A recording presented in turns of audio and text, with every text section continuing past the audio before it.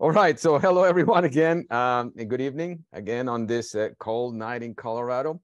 Uh, on this last one of the uh, uh, last meeting of the of the year, a year in which we had had all sorts of great uh, lectures, anywhere from obviously focusing on the Rocky Mountain region, but also in other parts of the world and even beyond it. And we have touched on all sorts of topics from the history of cartography to what we're going to hear tonight in, in, in what it is, how maps can also uh, inter, interface or interact with other uh, communication medium to spread its message. And so uh, it's going to be a great lecture to close the year. Um, this was also a year in which we started gathering in person again in History Colorado. Tonight was not one of those uh, sessions just because the weather was not really good in the morning and tonight is going to be pretty cold and who knows how the roads are going to be. So why not just gathering like we are right here via Zoom, enjoying our nice hot drink, whatever you're drinking, in a cozy up in that nice fireplace that I see there in Mary Conroy's house. That's really nice. So um, this is uh, a good way to to gather for uh, for this last meeting. So we are um, going to get started. Uh, and we're going to have our program director, Naomi Heiser, that will introduce our speaker, but also giving us a teaser about what's coming up uh, on 2023 for our society. So Naomi, take it away. Right. Thanks, Angel. Everyone hear me okay? Yes, we can. Okay, good. So um, thanks for having a wonderful fall season with us. And um, we're going to take a break until January. On January 24th, in the spring, we're going to have Matthew Mingus from University of New Mexico in Gallup.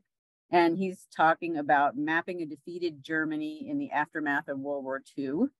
Um, then in March, we will most likely have Susan Schulten from DU, our local um, cartographic historian, and she will be speaking on her most recent book, which is about Emma Willard and her maps of history. Um, so tonight we welcome Stephen Nadler to tell us about maps on stamps and other types of ephemera.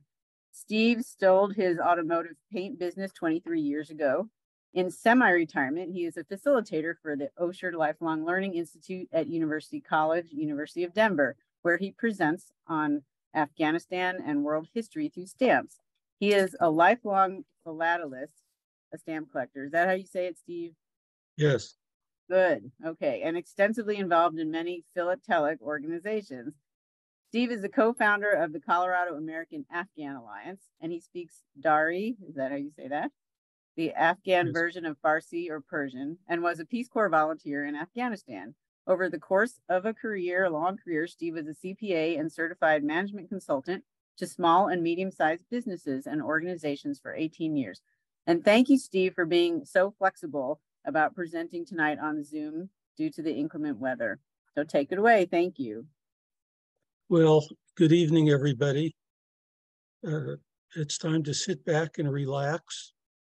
We're going to go over uh, a variety of uh, products that show maps, including postcards, trade cards, a poster stamp, charity labels, uh, covers, which we call envelopes, which we call covers in philately, maxim cards, and a telegram. The common denominator for all of this is maps.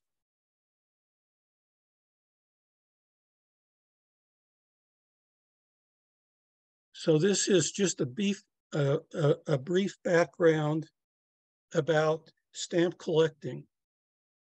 I don't want to read it if I don't have to. Can everybody see it? If you can, if you can't see it, uh, uh, let me know or let Angel know, and looks I'll good. read it out loud. It looks good, Steve. So we can read it. So if you can give us one minute to read it. Yeah. Whoops.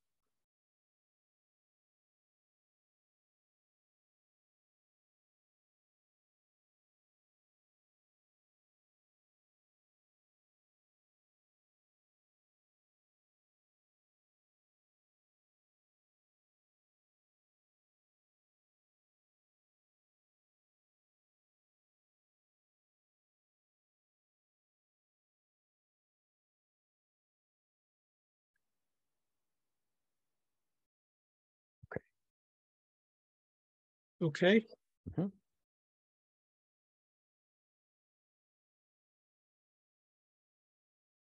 So these are a few points that I would like to make about maps on stamps.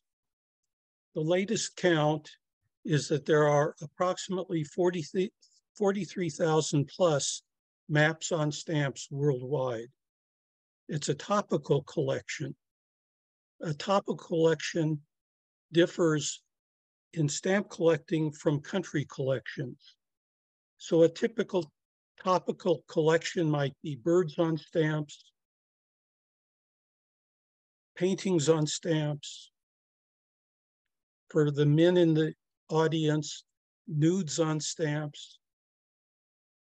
For the women in the audience, costumes on stamps, and so forth. You pick a topic and it's probably available in the world of stamps. The umbrella organization in the United States is called the American Topical Association. And within it is a subgroup called the Cartophilatelic Society. I would encourage people who are interested to go to their browser and enter maps on stamps, not right now, but later. And you'll be able to find several sites to visit.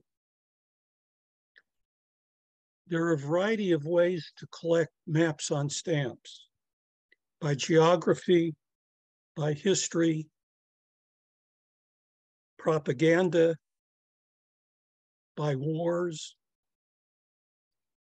any any kind of a topic you can think of within maps is probably available on stamps throughout the world. What do maps on stamps tell us about the country issuing them? Well, they get into the history, the personalities, the geography, uh, uh, propaganda, and so forth. How you too can become a philatelist and postal historian collecting maps on stamps. You can find maps on stamps on the internet through eBay, through auction houses. There's a website called Stamp Auction Network where they have every day a variety of auctions of stamps. And as I mentioned uh, earlier, before we started, we have the Rocky Mountain Philatelic Library in Denver, where you can go to purchase stamps at starting at five cents a piece. And there is a book on maps on stamps, a, a stock book, where you can go in and buy them at five cents each.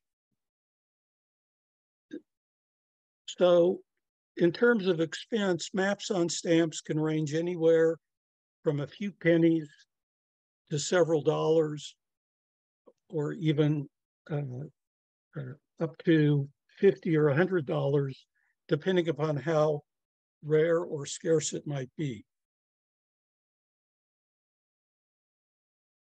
So here is the slide of Afghanistan showing the, uh, the country of Afghanistan uh, depicted on two different stamps. One was issued in 1964, the other in 1966. I purchased these at the post office in Kabul at the time they were issued. I'm asking, what are the calendar dates in Islam? You can see the, if I use my cursor, can you see where my cursor is? Yes. Okay, so that is one date and the other date is over here. So this date is the Muslim date of 1343 from the date of the death of Muhammad. Over here is the date 1345. I'm asking why is the French language used on these stamps? Visitez l'Afghanistan. It's not in English.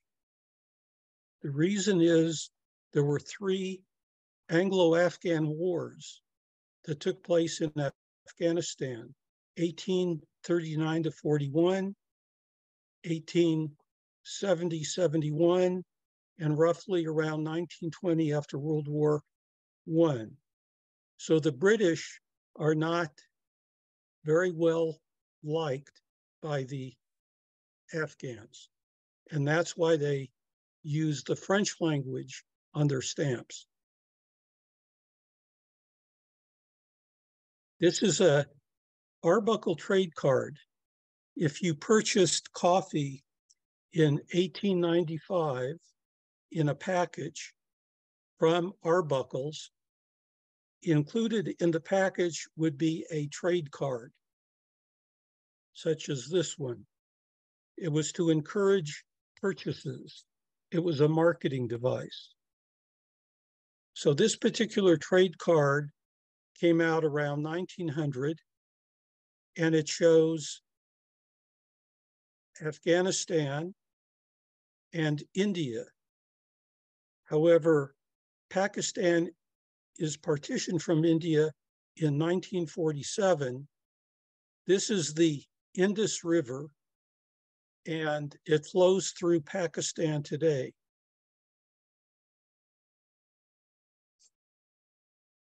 Notice how some of the uh, words are interesting.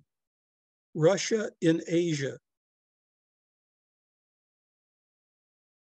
The spelling of Kabul and the location of China on this map. This is the backside of that trade card.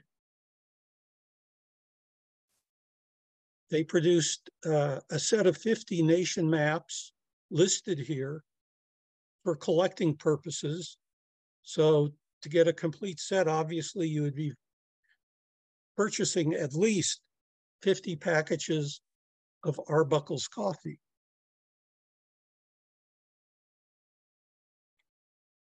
I'm going to move on.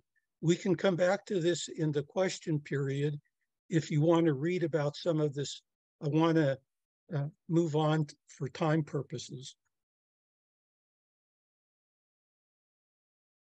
This stamp was issued in 1969 for the, the, the day of Pashtunistan.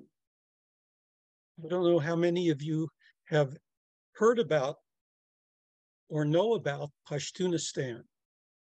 Pashtunistan is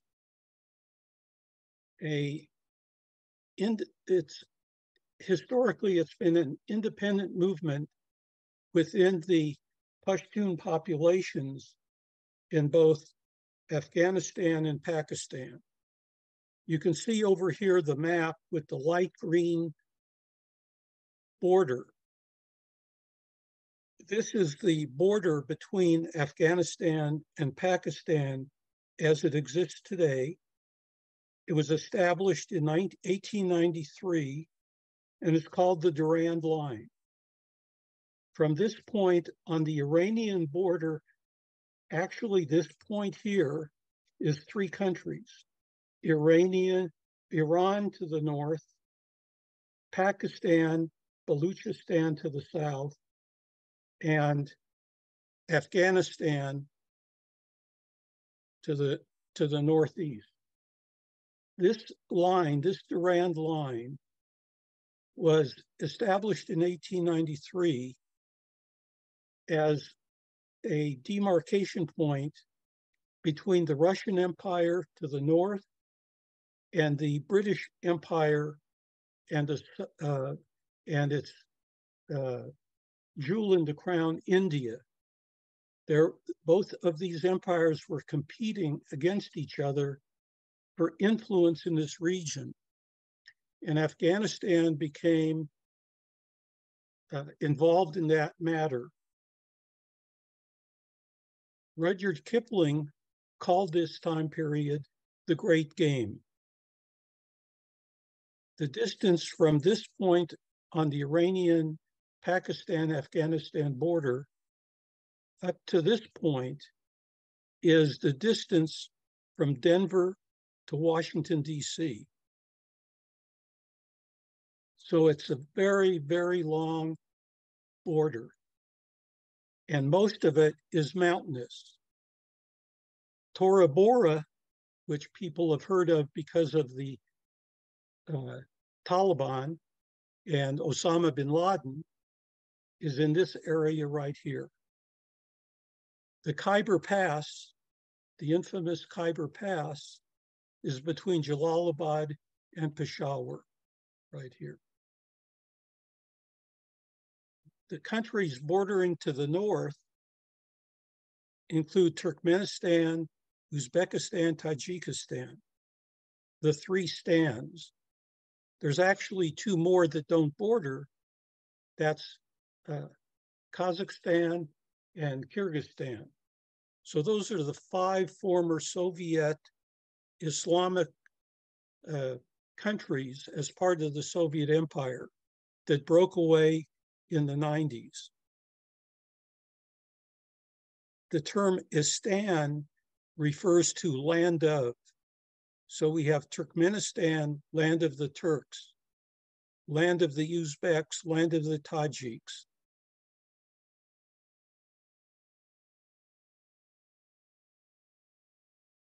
Argentina. This is called a first day cover. The first day of issue of this particular stamp is commemorated with a first day cover with this postmark, a commemorative postmark, and it shows what Argentina believes to be their interest in Antarctica, in the South Pole. So you can see here is Argentina, and here is their claim to that part of Antarctica.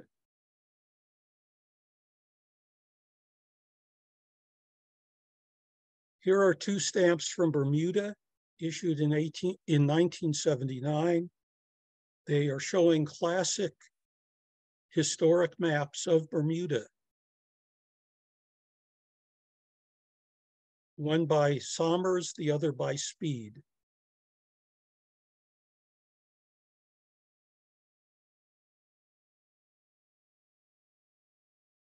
Brazil to honor a stamp show in Brazil in 1972, they issued these two stamps, one by Visscher and the other by, uh, I can't,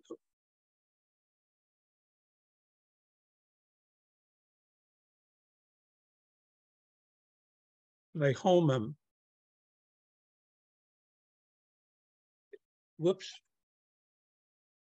It's difficult it's difficult to see, but this is North America, the Isthmus, and South America.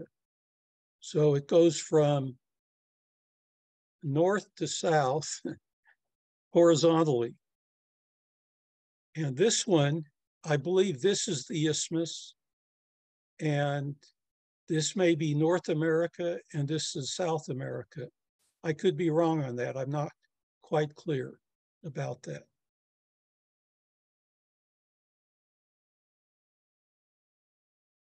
This is a famous iconic uh, icon of a stamp issued by Canada in 1898. In the mid 1890s, there were a number of people, both in England and in Canada, that wanted to reduce the rate of postage to promote worldwide communications amongst the British colonies. So, what happened is that the Imperial British Post established a postage rate of one penny to be used on normal mail between any of the colonies and England. In Canada, that one penny is converted to two Canadian cents.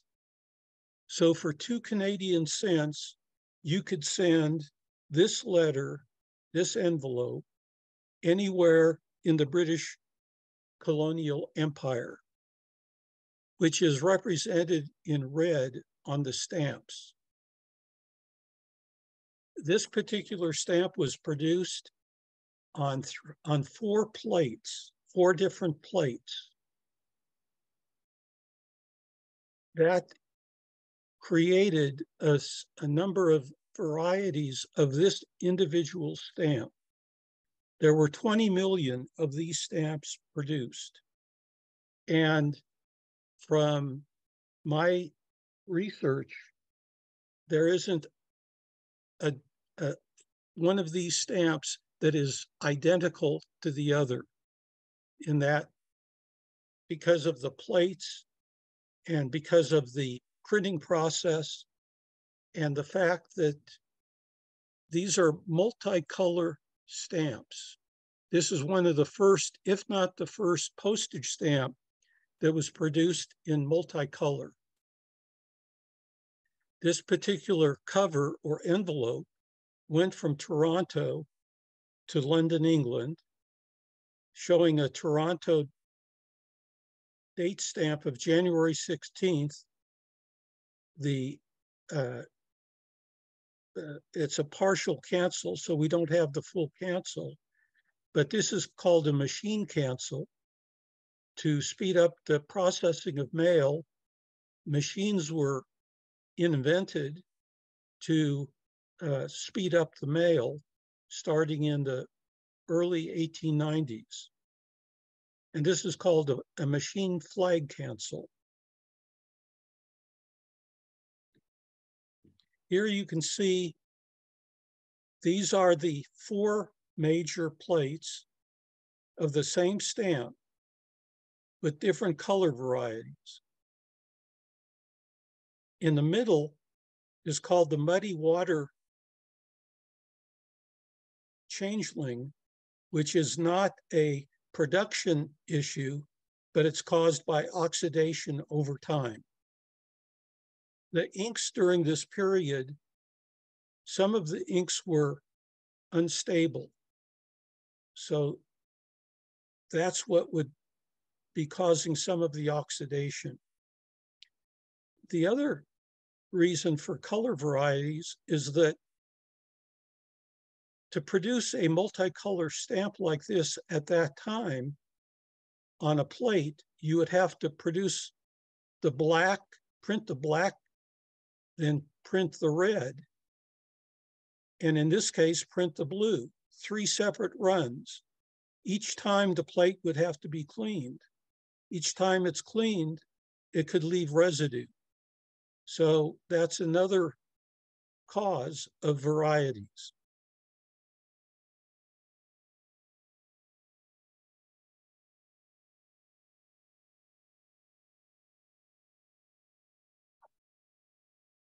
There is what is called fly specking or plating by some stamp collectors.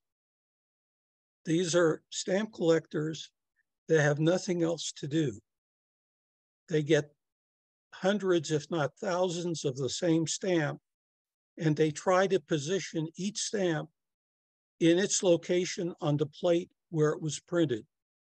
It's called plating or fly specking. And in some cases in fly specking, what happens is that these islands that are printed on these stamps, they have been moved from location to location depending upon the plate. So they move around and people are interested in collecting these varieties. Here is another Toronto machine cancel from 1899 on a piece with a fly cancel. Here's a uh, part of a duplex hand cancel. This is the uh, the dial of St. Catherine, 1899.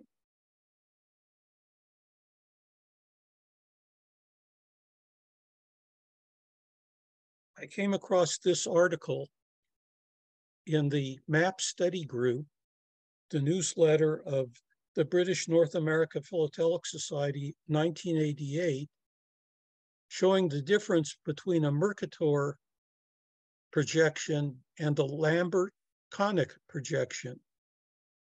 And whoops, there's a quote in the newsletter that says, I'll bet the Queen and Sir William Mulock would agree to Canada being shown smaller than the United States. For those who are interested, we can come back and you can read this detail at the end of the program.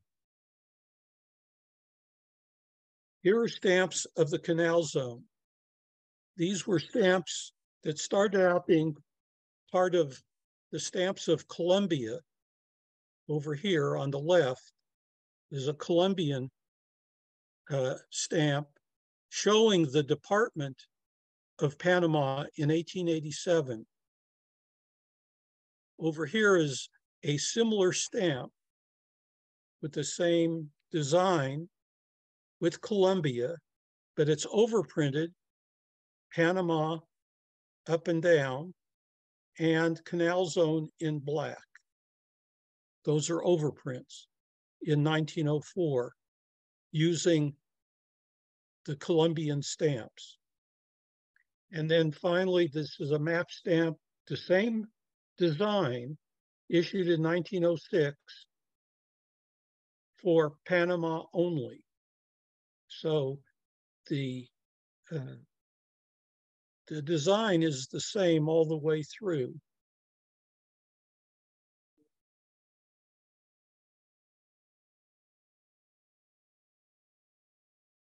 This is a sheet of 25 or a part of a sheet. And uh, some, some of us who are obsessive stamp collectors may like to get more than a single copy, but get blocks of four or in this case, it's a sheet of 25 or a section of 25 of a sheet of 100.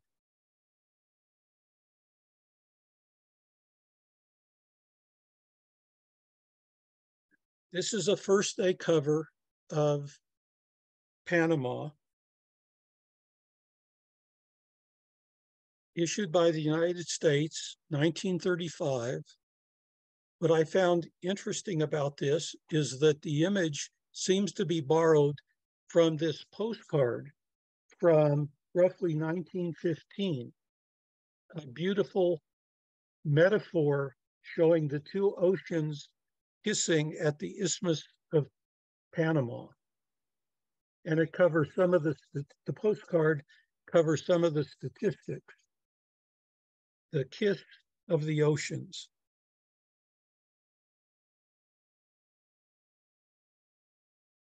another postcard of the canal zone. This is posted on a ship called a paquebot. A paquebot is basically a freighter with some passengers carrying the mail.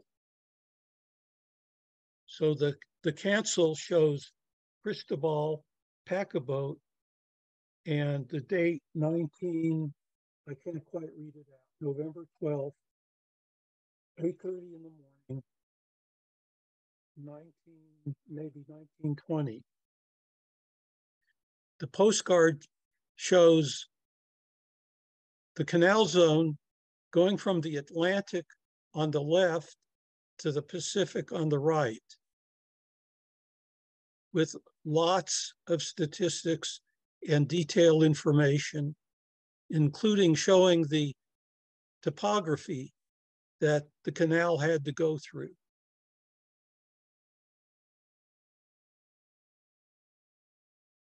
The Republic of Panama issued this particular airplane over map of Pa- Panama, uh, 1930. Uh, The AR overprint represents acknowledgement of receipt. All of these markings are of interest to postal historians. In addition, the 47.5 centavos, if you add this up, it's 47.5 centavos. It pays the registered airmail rate to Italy at the time.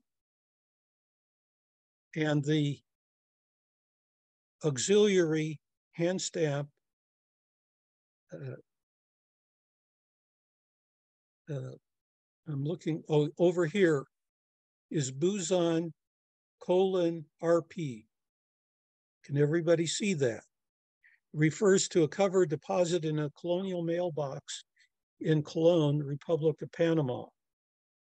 So it was posted on January 16th, transited through Miami the 19th of January, transited through New York the 20th one day, and received 11 days later in Rome. So a postal historian researches all of this type of information, the rate, the routing, and the markings. That's what is formally considered postal history. I expand it to include social history. So, for example, social history might re- refer to the addressee, Wilbert, Presso Salenza in Rome. And maybe that person is the editor or uh, a president of the, the paper. Uh, that's part of the social history of, of this particular cover.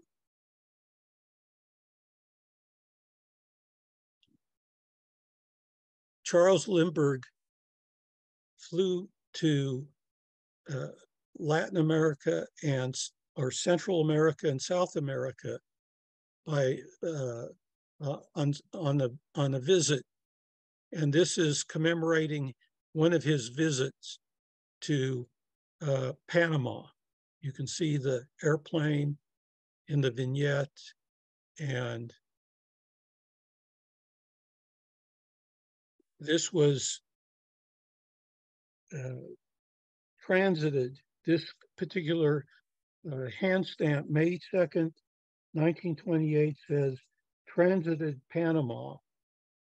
Uh, so it went from uh, Balboa Canal Zone, even though it's not listed or identified on the hand stamp canceling the stamps, this is the return address.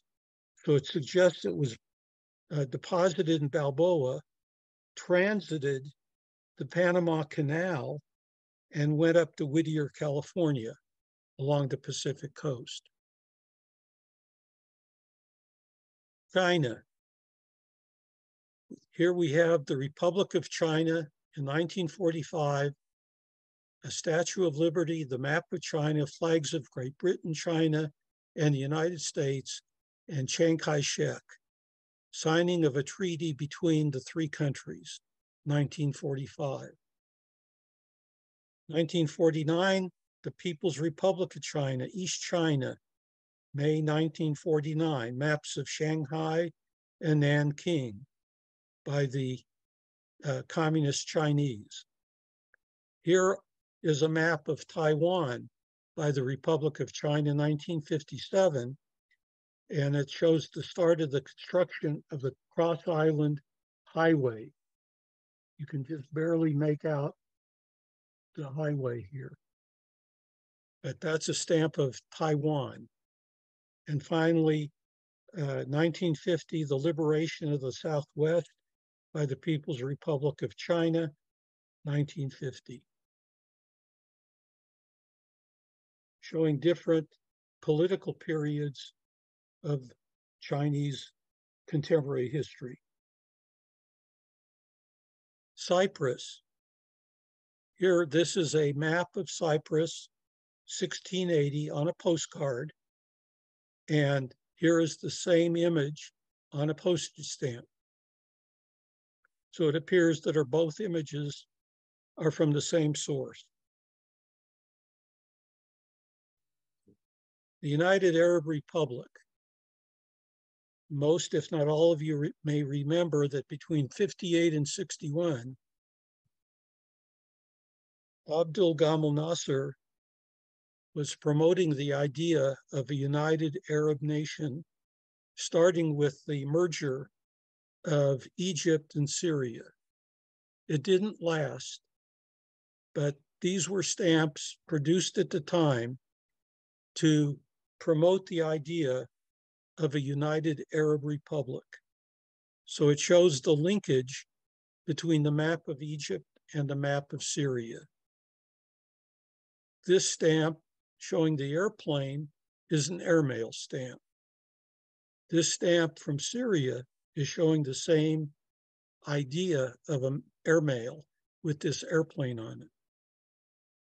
One of the interesting things that I think about on this is that in Egypt, 10 mills and 15 mills was the value of these two stamps, whereas in Saudi Arabia, I'm sorry, within Syria, 12 and a half P and 17 and a half P were the equivalent.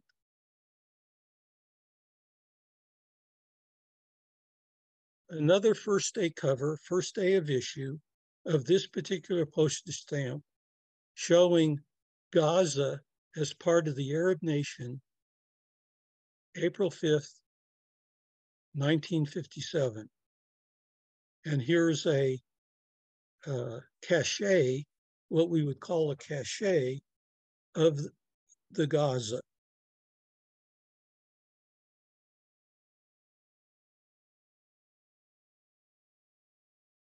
France.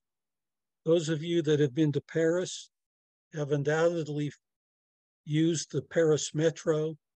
And here is a multicolor, complicated postcard of the Paris Metro. Sent 1985 to this person in Georgia.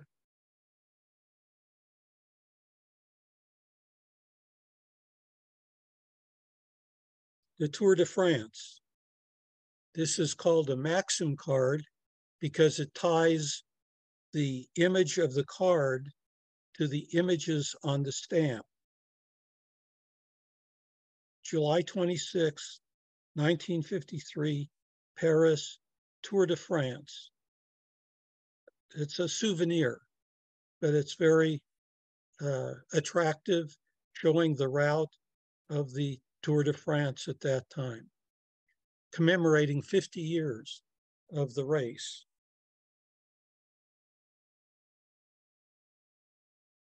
Germany, Nazi propaganda, 1938. Eh, over here, this postcard shows is dated April 29th, 1938 one people, one state, one Fuhrer.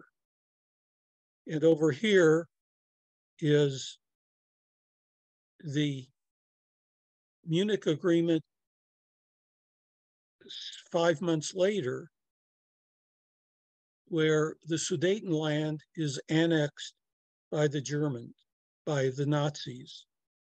And if you take the image of the Sudetenland here, you can place it into this section here on the earlier postcard.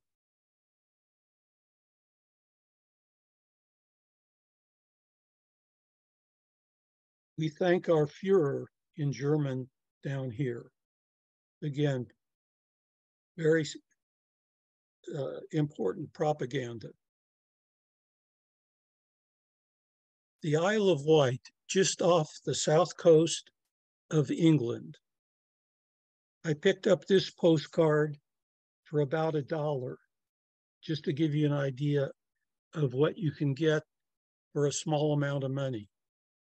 Dated September 16th, 1913. It's half a penny. So within England, you can mail a postcard for a half a penny. And this is the Isle of Wight, local delivery for half a penny. And here's a, uh, an unused modern tourist postcard of the same island.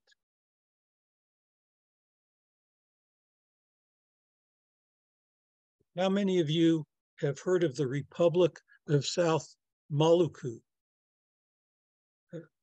South Maluku, uh, officially the Republic, an un unrecognized succeeded repu succeeding republic claimed the islands of Ambon Buru Seram, which make up the Indonesian province of Maluku.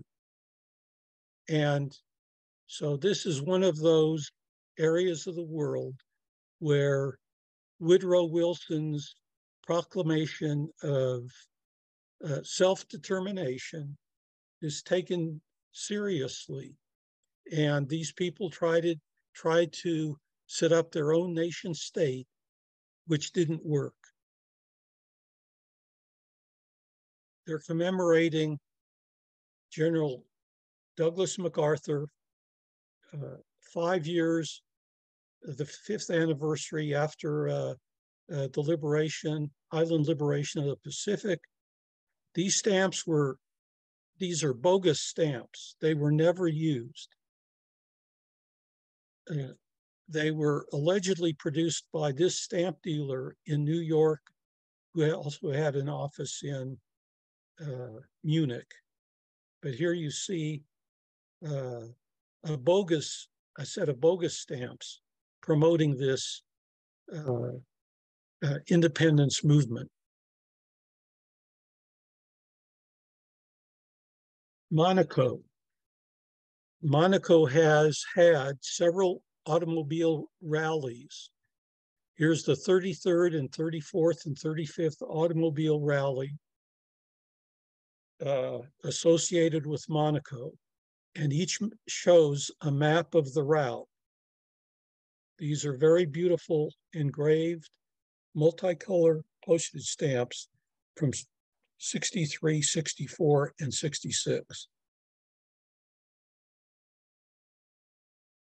Another Arbuckle's coffee trade card, this time showing Palestine.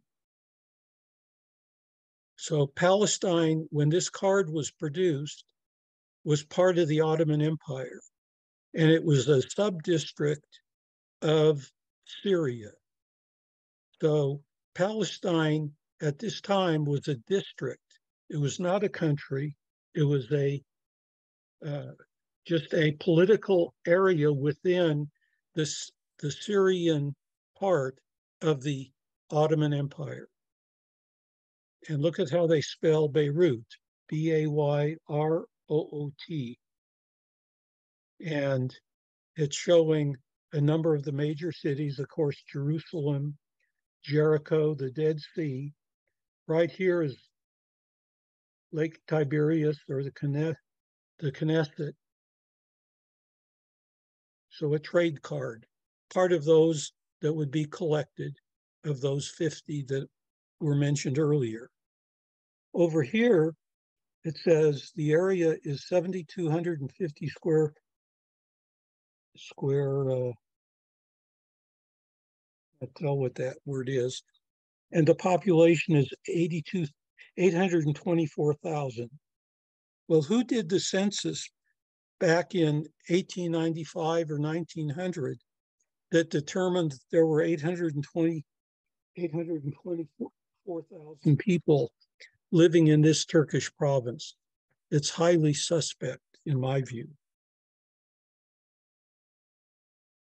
The stamps of Palestine uh, leading to the state of Israel covered four different periods. This is the third period. The first period was during the Ottoman Empire, which ended at the end of World War I, when it the area became part of the British Palestine Mandate, where they issued stamps for that time period. And then when the British gave up the mandate and the United Nations voted to partition Palestine into two separate areas between the Jews and the Arabs. The interim period lasted from November 29th to May 15th. All of the British post offices were closed by the British. All their employees were uh, uh, laid off. So there was no longer a postal system in Palestine. And the, the uh, Zionists at the time, the Jewish Zionists, established a new postal system on an interim basis using Jewish National Fund charity labels overprinted in Hebrew with the word post. So this in Hebrew is the word post. And these stamps are showing the partition of Palestine into the two areas, which was accepted by the Jewish community, but rejected by the Arabs and Muslims of Palestine, Egypt, Syria, and the other Arab and Muslim countries.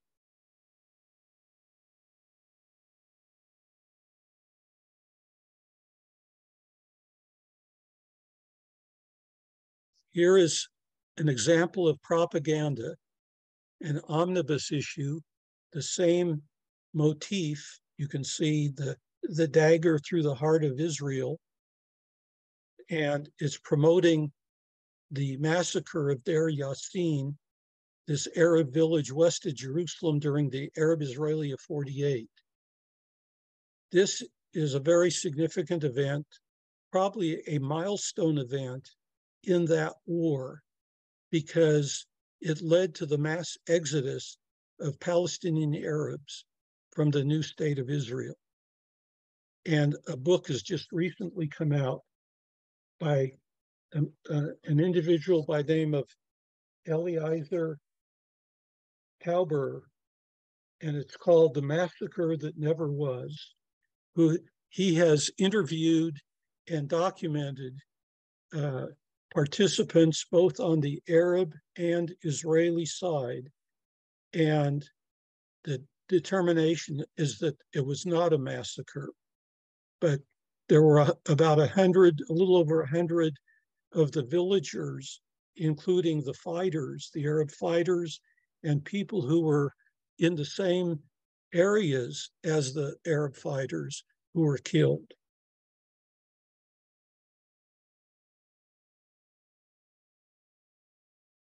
Sweden.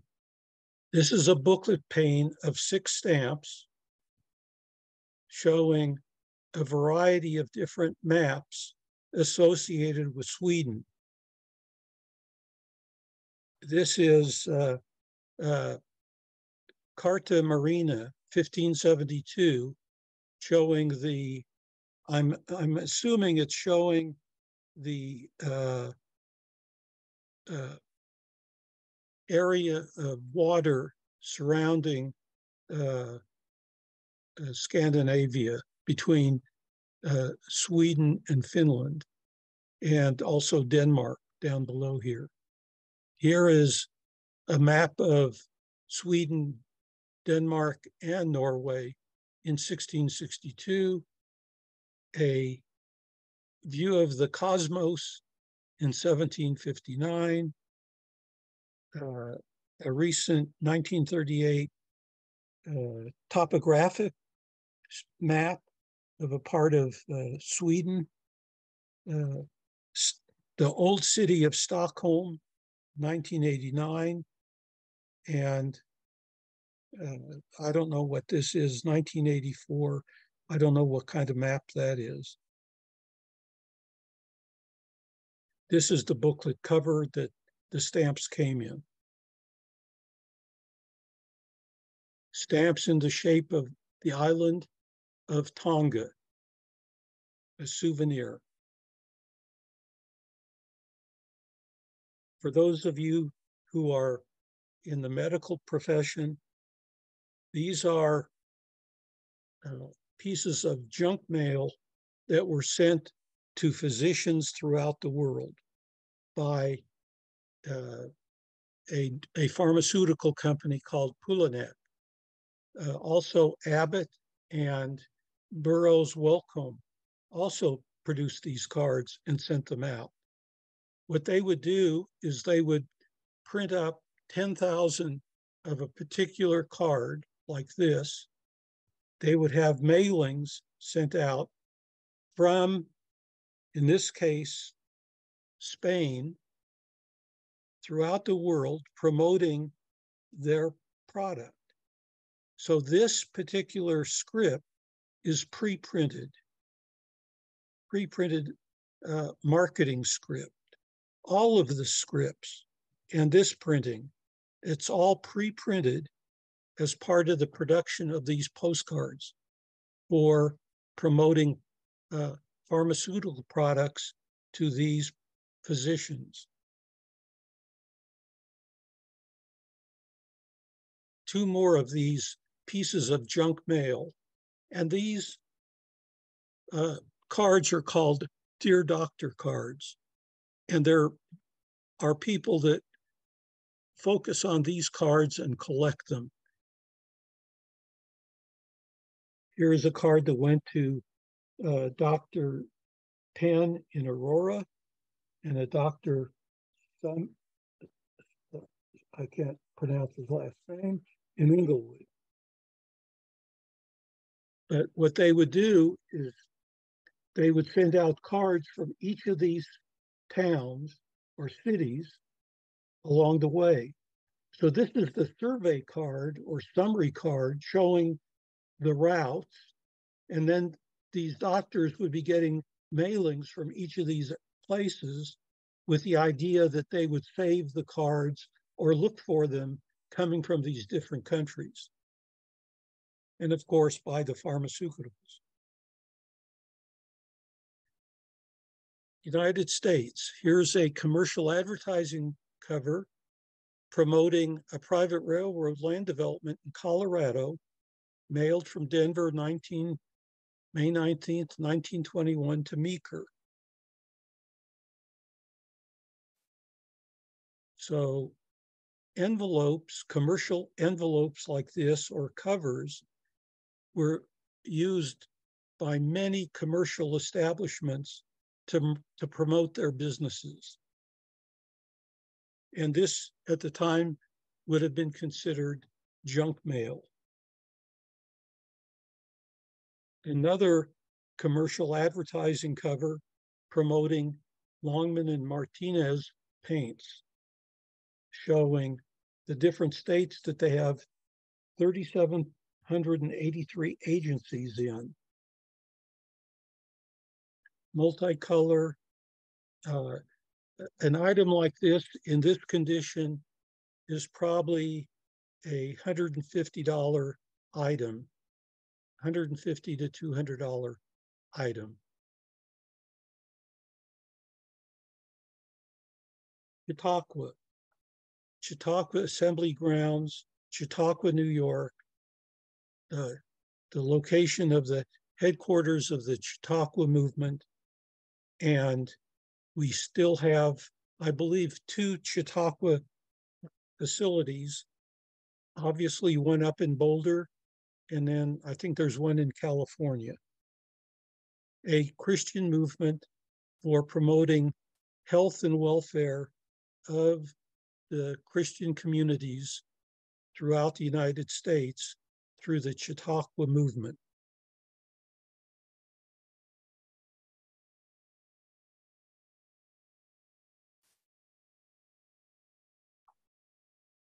another uh, uh, commercial envelope sent from Chicago, 1914, and the companies indicating where they're located and how to reach them on this map of downtown Chicago on the back of the envelope.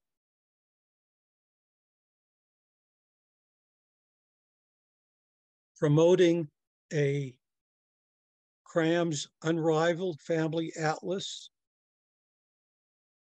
The one cent stamp, unfortunately, it's upside down. However, it's part of the Columbian uh, commemorative series of 1893, commemorating the World's Columbian Exposition in Chicago. It's a piece of junk mail. It was one cent. And the post office required that it not be sealed. So the flap on the back of the envelope, the gum on it is undisturbed, and the flap is folded inside the envelope. And that's what allowed this particular company to send this junk mail at one cent when the standard rate for something like this at that time would have been two cents.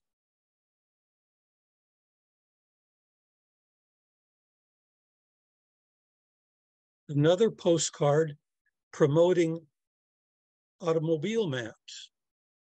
What's interesting to me about this is here is a company promoting automobile maps in 1910. The automobile hadn't been around for very long. The postcard shows a postmark of the Boston Circuit Railway Post Office, postmark Boston, Massachusetts, August 17th, 1910. It was placed in a mailbox on a post office streetcar used to process mail in Boston, like the one on the next slide.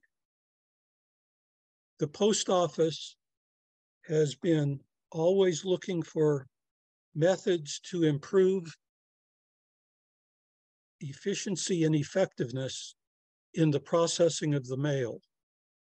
And they were using streetcar post offices essentially for processing mail in these 13 cities in the United States. It occurred roughly between 1895 and 1925.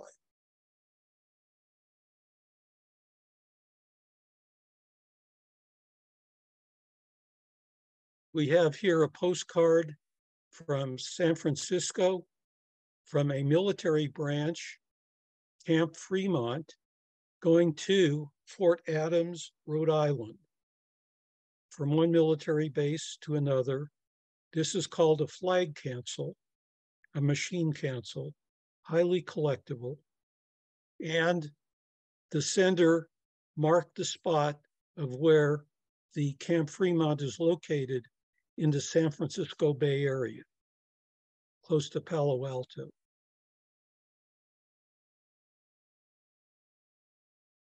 A postcard promoting the Democratic Convention in 1908.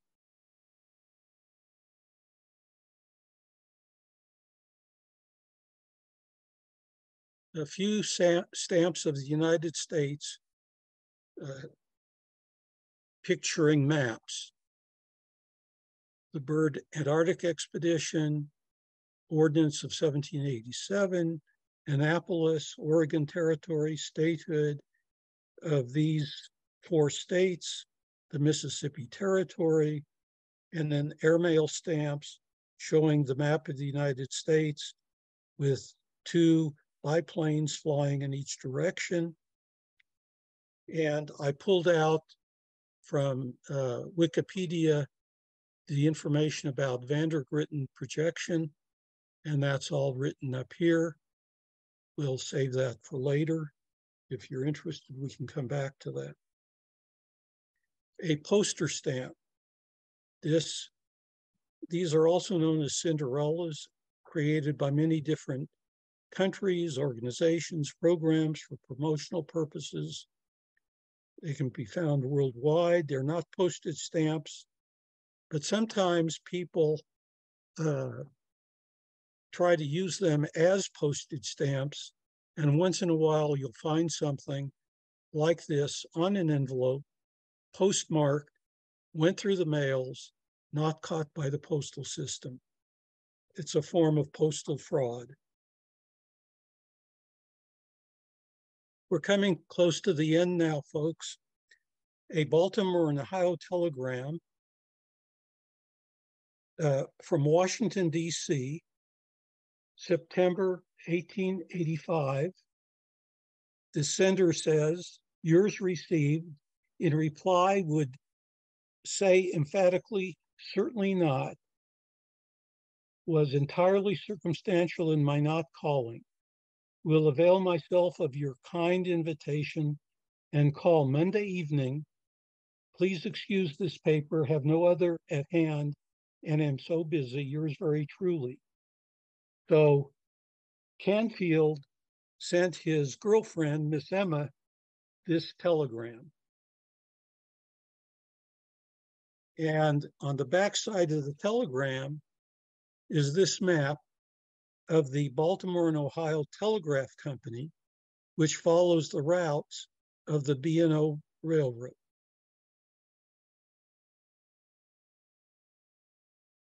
A sampling of various stamps, maps on stamps from a variety of countries. Angola, Alderney, which is one of the Channel Islands, Austria, Bangladesh, West Indies, Barbuda, Colombia, Bolivia, Cape Verde, Burma, Costa Rica, Cuba, the Faroe Islands, Falkland Islands, Fiji, Gold Coast, Hungary, Iceland, Ireland, Kiribati, and Liberia. A second group from Mauritius, Mexico, Norway, Montserrat, Nicaragua, Niue, Pakistan, Paraguay, Peru, Poland, Russia, Turkey. Uh, this is probably the Ryukyu Islands, Tristan da Cunha, Umal Quwain, and Venezuela. This particular stamp I would point out from Pakistan shows West Pakistan. You saw the earlier maps of Afghanistan. Afghanistan would be here. Here's the Durand Line, the Indus River, the border between Pakistan and India, and East Pakistan, which in 1971 became Bangladesh. some definitions which we don't need to go over unless you're interested. Definition of philately, cartography, marcophile, deltiology, and completist. That's all, folks. Thank you. Woo! Thank you so much, Stephen. Really appreciate it. Uh, just when I thought I had exhausted all my map collection themes, you just open up a whole new world of possibilities here. Um, but let's see, we have a few questions from the chat. Um, from Wes Brown, Steve, are these stamps and postal stationery shown in this presentation from your collection? Yes, that's easy to answer. And I want to say to Wes, you're partly responsible for this. so I I don't want to get all the blame. Yeah, Wes can get a map in any piece of stationery that you can find. Um, Team Dammer uh, asked, where was the Gold Co Coast? The Gold Coast is on the uh, uh, south southern part of Africa, near. Uh, well, it's today it's Ghana. Gold Coast became uh, the independent country of Ghana in 19 I believe it was 1956. The president of Ghana at the time was Kwame Nkrumah or something like that.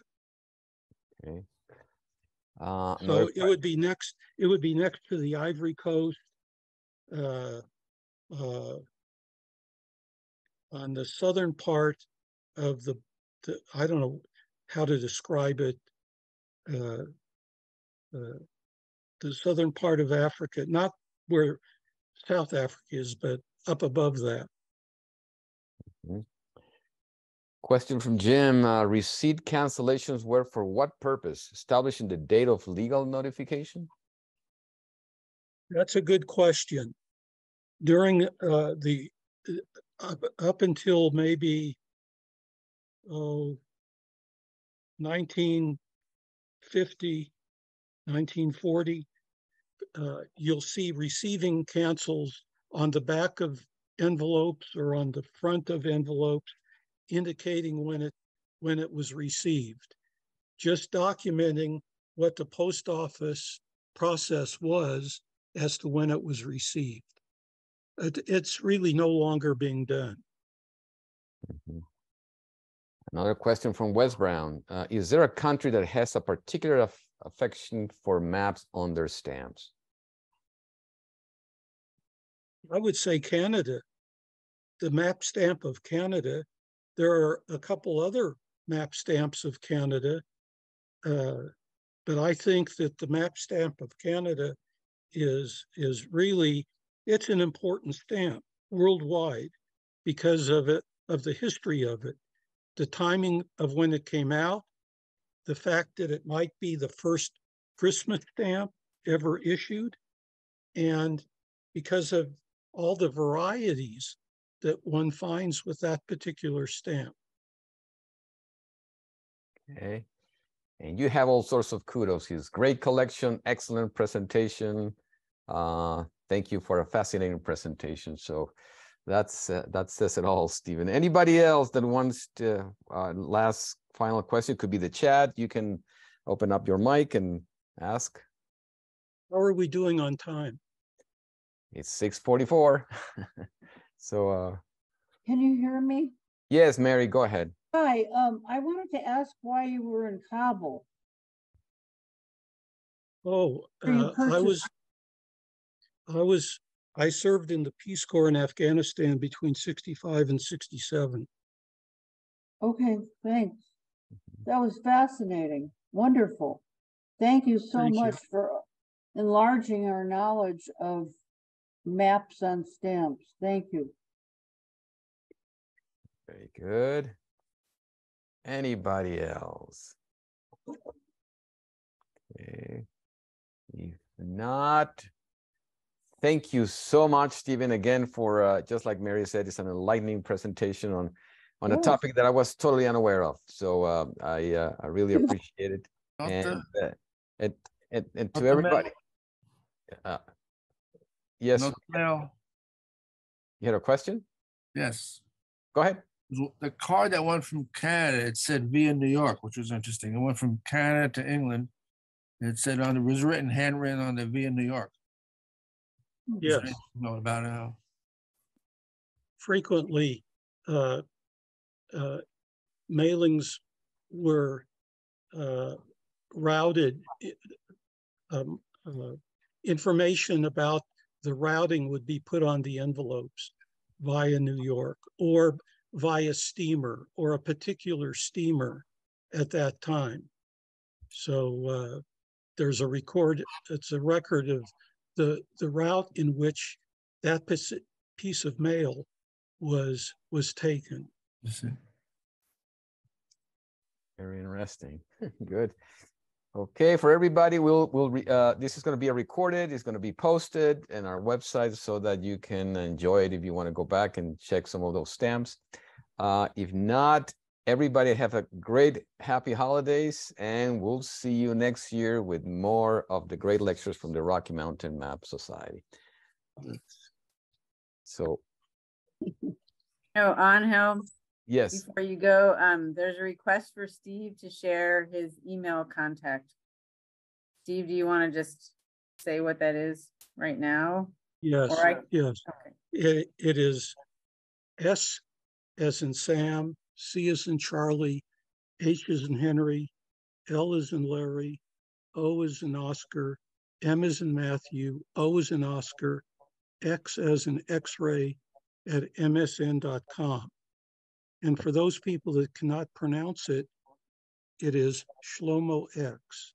let me actually put it on the chat. There it is for everybody.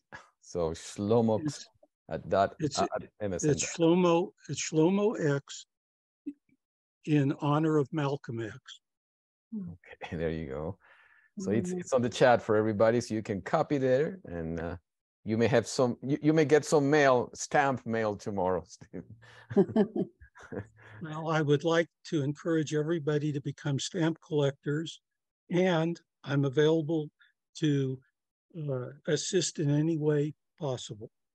Good. Hopefully we don't miss any, lose any members here. So thank you so much. Okay, everybody, have a good one. Um, and uh, enjoy the rest of your evening. Thank Happy you. holidays. Happy holidays. Bye-bye.